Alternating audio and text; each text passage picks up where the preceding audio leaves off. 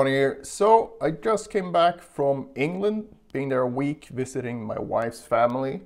And every time you have a break like that, you feel kind of stiff when you come back. At least I do. But this time I tried a new approach where I focus a lot on the left hand. And that seemed to speed up my sort of technique recovery when I came back. So I wouldn't say that now on day two I'm at 100%, but I'm definitely further on in to my normal technique than I would usually be. So I'm just going to share the exercise that I did and see if it can help you as well. And I just think this is a generally good exercise anyway to get your timing together in the left hand, which of course will help your legato as well as your anything you do with picking as well. So we're gonna use this approach where you do all hammers, and I've seen Tom Quayle talk about this, Rick Graham, Guthrie Govan, so we're in good company. And I'm also gonna link uh, another video where I've talked about this sort of approach before, so we don't need to go into all the technical details. Uh, and the approach that I used for this one was the systematic approach because I want to make sure that I really hit all the combinations, but you can apply this to scales as well, of course. When you do this kind of exercise or this kind of work, it's good to mute the strings. You don't have to worry about that. And generally I use, you know, a sock, clean one, or a cloth, or if you have this Gruv Gear stuff that I don't use, you can use that. But for now, I'm just gonna use my hand like this. So I'm basically just muting so I don't get any extraneous noise, so I can focus on the actual left hand technique. So basically all hammers is exactly that, it's all hammer-ons. So I'm going to demonstrate this from the 7th fret, and obviously you have link to the tabs as well. It's available on my Patreon, but it's fairly easy once you get to know the pattern. So we're going to start with one, two, three, and like I said, 7th fret, one finger per fret. So we're going to do these groups of 4. So first of all, think of this fingering as sort of a scale. So you just go one, two, three, one, two, three, one, two, three, one, two, three, and so on. And then if you number the notes, you have one, two, three, four, five, six, seven, eight, nine. And once you get to that point, you're gonna know the sequence. And then you just go up four notes from each starting point. So you're gonna go one, two, three, four. And you go back to the second note, two, three, four, one. I'm sorry, two, three, four, five and then you have uh, from the third note, three, four, five, six. And once you've done that, the whole shape will repeat starting on the A string instead. So we got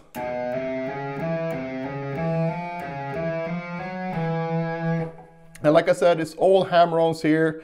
There's no pull-offs. And you're gonna see that when you turn this around, it's way more difficult. But you still get some of these difficult ones within this, this one. And what I'm talking about here is that going from left to right is fine, but because whatever you do with this finger doesn't really matter, but going from right to left, it really matters with the timing, because if you get this finger down too early, nothing's gonna happen. If you get it down too late, you're gonna get some other noise. You need, really need to nail the timing. But that's exactly the same timing you need to have when you pick it anyway. So if you pick this, you still need to get the finger out of the way exactly in time for it to sound like a clear note. All right, so I'm not gonna play through all these, but I'm just gonna give you a little idea of it. So if I do one, two, three again.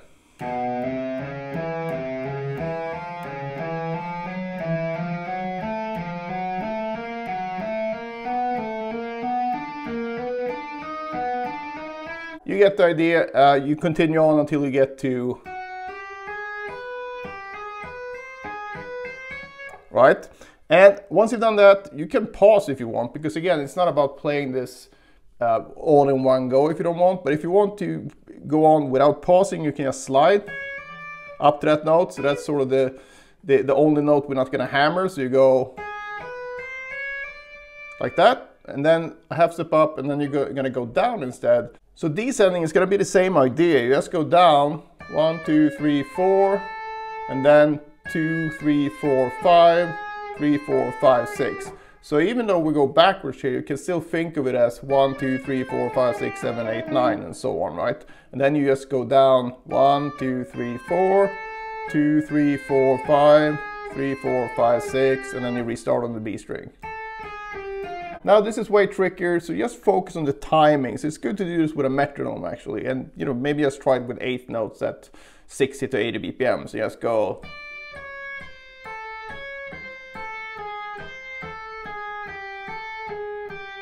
So what you don't want to do here is overdo the, do anything like that. You try to keep it as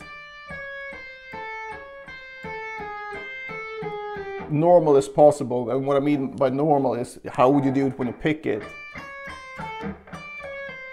So that's actually one thing you can try. If you go like uh, between just uh, that, for example,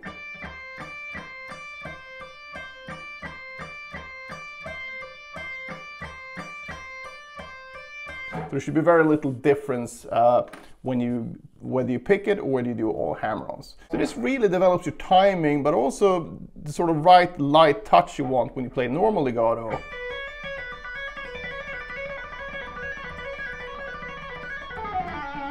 Where you don't want to dig in too much because then it's going to be very difficult to get it up to any type of speed. Uh, so basically you do that with one, two, three like we did, and then the reverse. Then you go through the, the remaining three fingerings, which would be one, two, four.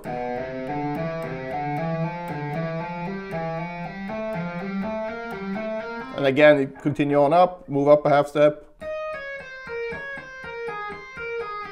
Same thing with that one, and you do one, three, four. Move up, And then finally you do no one's favorite, two, three, four. And this one backward is really not fun.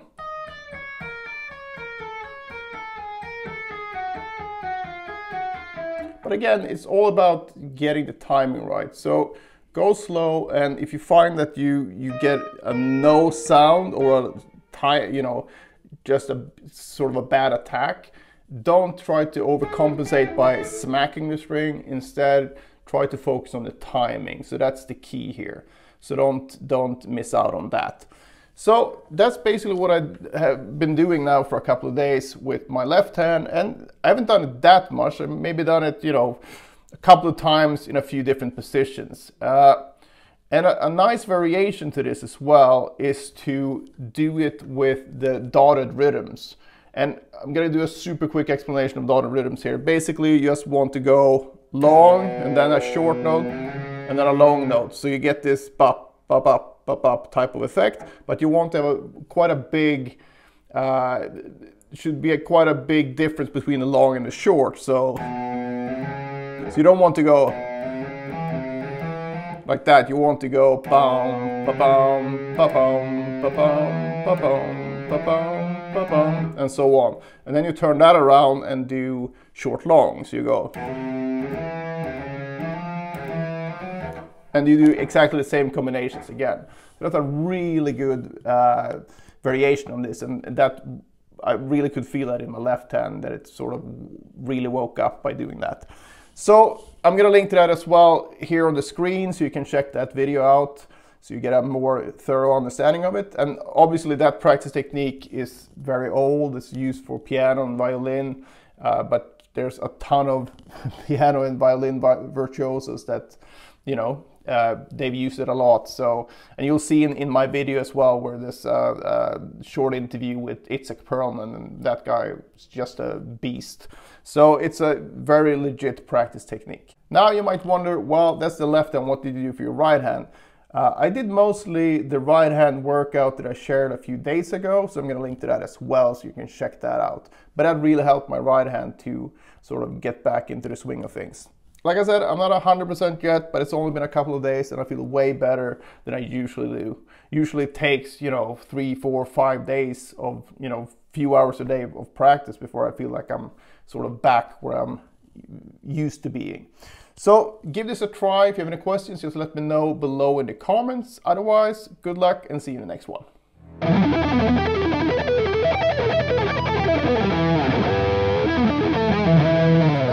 Used to have real issues with fast alternate picking when it came to two notes per string. I was fine with three notes per string, but the two notes per string thing was a bit harder to, to crack. So if you struggle with fast alternate picking as well and you don't know what to practice or for how long, I've created the perfect solution for you in the form of the Pentatonic Picking Power Book.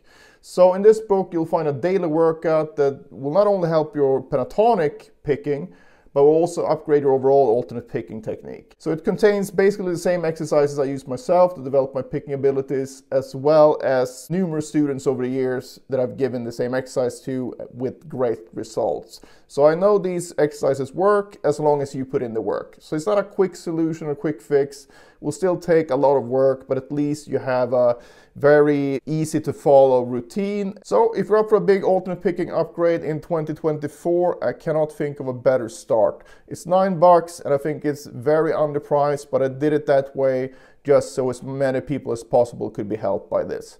So check that out.